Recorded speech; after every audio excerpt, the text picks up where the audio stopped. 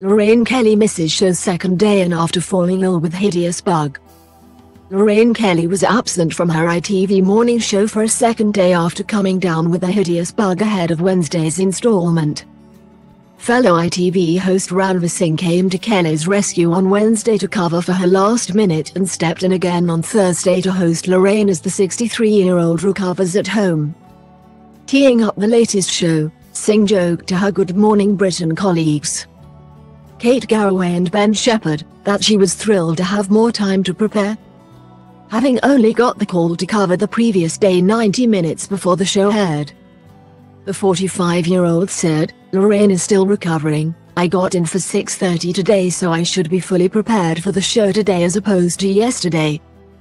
On Wednesday, the Scottish presenter pre-warned viewers that she wouldn't be fronting her usual slot after falling ill suddenly.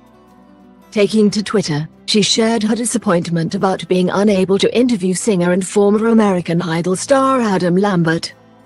She tweeted, When you have to be sent home from work early in the morning because you were suddenly attacked by a hideous bug and were looking forward to interviewing at Adam Lambert that.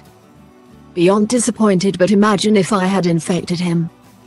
After sharing her social media post, fans and her famous friends were quick to wish her a speedy recovery.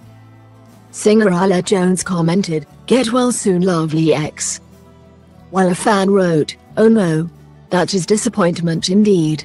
He is amazing. But thank you for protecting Adam Lambert and hope you feel better soon. Sorry to hear that Lorraine Adam Lambert is so missing out. Get well soon, another shared. A third added, oh no get well soon at real Lorraine, just means you will have to invite Adam Lambert back. Lorraine airs weekdays at 9am on ITV and ITVX.